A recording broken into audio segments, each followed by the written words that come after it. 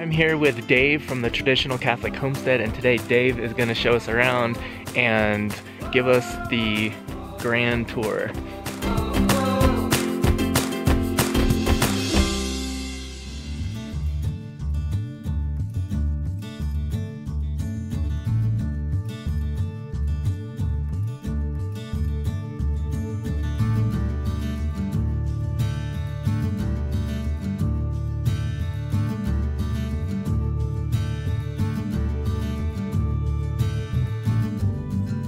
Hi guys, I'm Dave. This is the traditional Catholic homestead. Uh, we're up here in north central Idaho, um, about 4,100 feet, zone 6A. We have roughly a 90 day growing season here where we're at, so it's a little bit rough. You got to be creative and you got to figure out what works and what doesn't. We have 168 acres right here. Um, right here by the house, we have eight acres this is where our most intense, our zone one stuff is, right? And then uh, we have 160 acres of mixed timber and meadows where we graze our cattle and harvest timber this year. We've done a little bit of earthworks. We have a swale out over here. We have two swales that we put in. Those are, um, we've got some oak trees that we've uh, we planted in here, and then um, lilac, hazelnut, and seaberry that we got from Mark Shepard out of Restoration Agriculture fame. Um, then down below, uh, we've got another swale in there. So we got probably 300 feet of swales in here collecting water, slowing it down, sinking it in. This area uh, drains a lot from uh, up above, and it would make kind of a little creek through here uh, during the springtime. So we added those swales in there to kind of help deal with that water. And so for those that are watching that don't know what a swale is, basically it's a ditch on contour Correct. that's harvesting water, and typically you would plant trees in the berm on the ditch Correct. and that water that's being captured in the ditch is feeding the trees. Yes. And sometimes you can use it to actually move water to a pond, that kind of thing, but uh, basically you're capturing water that would otherwise be running off your property and you're harvesting it for your own purposes. Correct. So this line right here is the swale and it's downslope so the water as it's washing down the hill will stop in this swale right here and the backside here is bermed up so it's going to capture that water and the water is going to sink into the soil and feed those trees. This is how we're managing our chickens for the wintertime. Um, we run an open coop you know, closed in on three sides basically. A lot of air movement, a lot of all this stuff. And if you look at these guys, we've had lowest I've seen was negative eight, right? Out here. And there's not a speck or a spot of frostbite on anybody. Um, the key is keeping them dry and keeping them out of the wind, and that's what we get with this thing. Um, during the summertime, we run them out on pasture, kind of in a, a tractor following the cows. But during the wintertime, this is where they live, and it's pretty easy. You know, we don't need to keep them locked up inside. That's when people run into a lot of problems, as because they there's moisture. You trap moisture in there. You don't have a good airflow. Um, and that's what leads to the frostbite. That's what leads to the frostbite is the moisture. Um, you know, these guys are used to the weather. They they have a down jacket on them naturally, and they just kind of they deal with it. It it works well. We throw them straw in there, and it gives them something to scratch around and play, and do all their chicken stuff. But that's it. All right, so we got barred rocks. Um, well, we got some ducks. We got uh, uh, khaki Campbells and Swedish blue ducks. Just a couple of those. Um, there's some Americanas in there. Little Rhode Island red. Um, not sure what that rooster is. He was just kind of a, a freebie. He's got a little bit different comb to him. Um, you got these banties. Those are my oldest boys. They're a millefleur banty. They're they got like a feather foot on them. Um, there's nesting boxes in here, and then you can access them from the outside here too. And we got some eggs that kids need to come in and pick up. But you know that's we got one, two, 3, 4, 5, 6, 7, 8, 9, 10, 11, 12, 13, 14. And a duck egg. Just from today? That's probably, I imagine somebody forgot to get their eggs, do their chores yesterday too. But that's no supplemental heat in the middle of winter. And Yeah. Plenty of production. Yep, that's enough. So these are uh, hugelkultur beds that we put in. Um, did that probably about three or four years ago now. Um, this one's got kind of a little. We made a, a frost pocket in here on purpose to get some uh, colder stuff, stuff that likes cold. And the hugelkultur is just logs underneath. we we got uh, logs in at the base, then we brought in dirt from a, they're actually from an old slash pile where they logged on the rest of the property earlier, so it was pretty rough dirt. Um, and it was dirt; it wasn't soil. It's been like sterilized because they had giant fires on top of it. Only thing growing in it was uh, thistles, and so we knocked the thistles over, scooped up the dirt, and then brought it in here. And um, it was pretty amazing. We never had a problem with thistles in this at all with the hugelkultur. Um, we've got there's looks like yarrow growing in there. We've got um, just a lot of different kind of perennial type stuff in here. Uh, gooseberries, uh, strawberries, raspberries, um, some sage up on top where it's a little bit drier. This was the pig nursery when the babies came off of our Kune Kunes. That's the ground level. Nice. So there's a little bit of snow in here. or, um, yeah, this is pretty dusty. But um, these are all hugelkultur beds, wood core beds on the perimeter here. And then, um, you know, we added the topsoil where we kind of dug all this out onto the top. This is all compost. In here we grew some uh, squash on it. There's glass. This is our bedding from uh, two years ago in the milking shed. This is pretty neat. This has no supplemental heat in here, and the coldest it's ever been is 14 degrees, and that's when it was like negative 18 outside.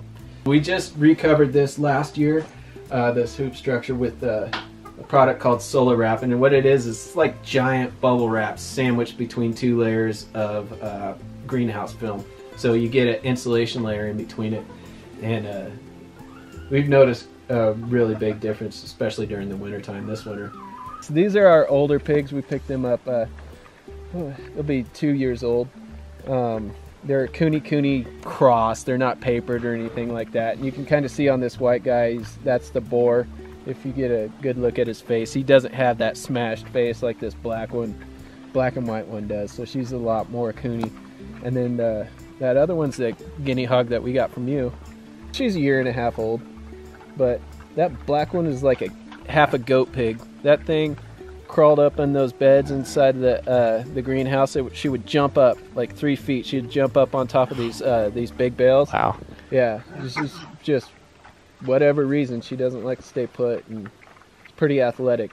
This is a new structure we put up this uh, this winter. Actually, I was a little bit busy this fall. I would have liked to have had it up then. Um, would have been working out a little bit better for us. But um, this is a I think they call it a Mootel from Farm Tek. Farm Tek, and it'll have uh, roll-up sides and end walls on it. But we got a little bit deep into the winter, so ground froze. We couldn't do much, but we got this this part done.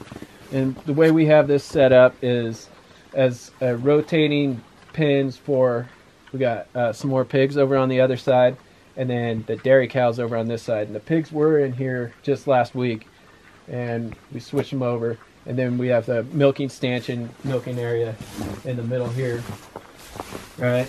And the cows only have access to that. And then we have this area is kind of like a bedding area for the pigs. And this is where we run them from one side to the other. We'll pull that panel out and move it. And what these are are uh, feeder panels that we get at the feed store. They normally sit this way all right?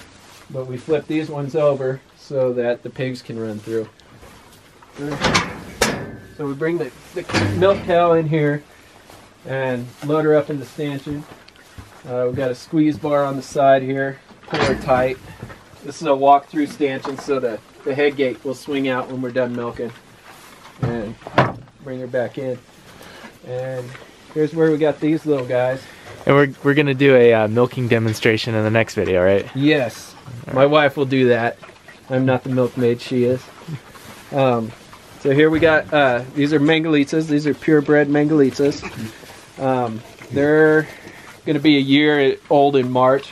We're growing them slow. These are the little Kune Kune babies.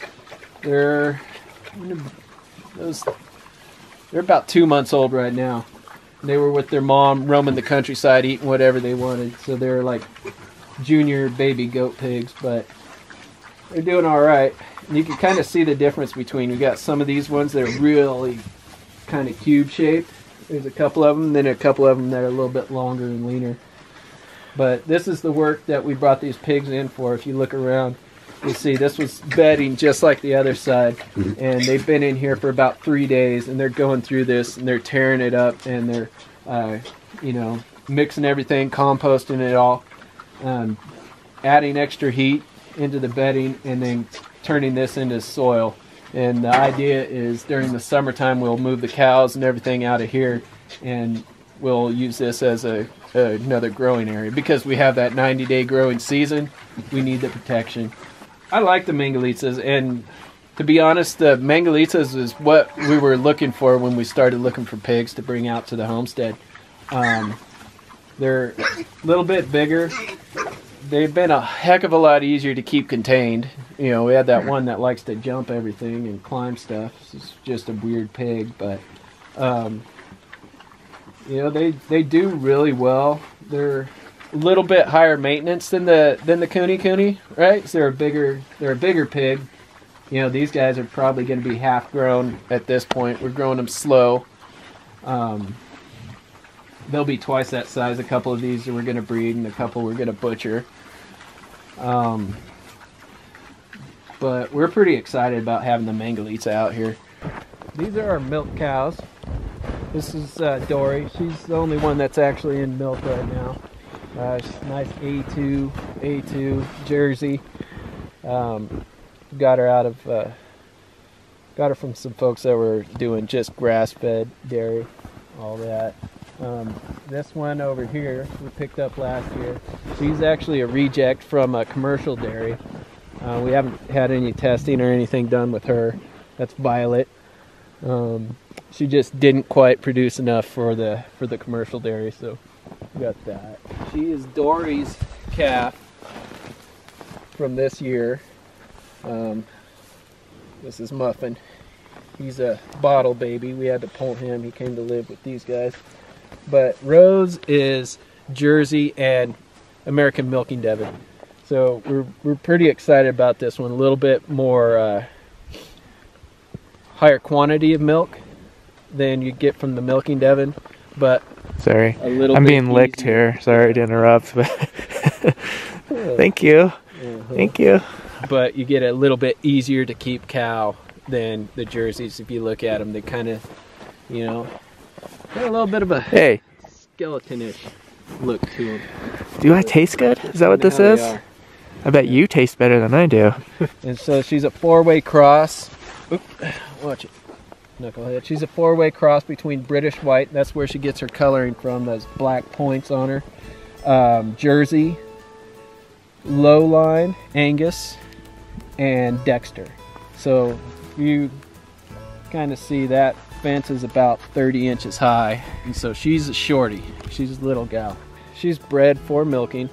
Um, she gives about two and a half gallons a day, once a day milking. Um, so she she does pretty darn good, especially for her size. But she's kind of a neat story. Um, I had a steer, just a regular black Angus steer that um, I was selling for grass finished beef, and um, the buyers backed out on it. And our friend was going to send her to the butcher to get her ground up because she couldn't get her to breed with AI. And you know, I've got, I've got two bulls, so I figured, what the heck, right? Um, we did a straight trade, and she's been with the bull. She cycled one time after she got here, and that's it. So So you Yeah. traded the steer for her. we traded the steer straight across for her, and it looks like it's going to work out pretty good. Otherwise, I would have got a pretty bad deal on that one. But she's just cute as heck anyway, so.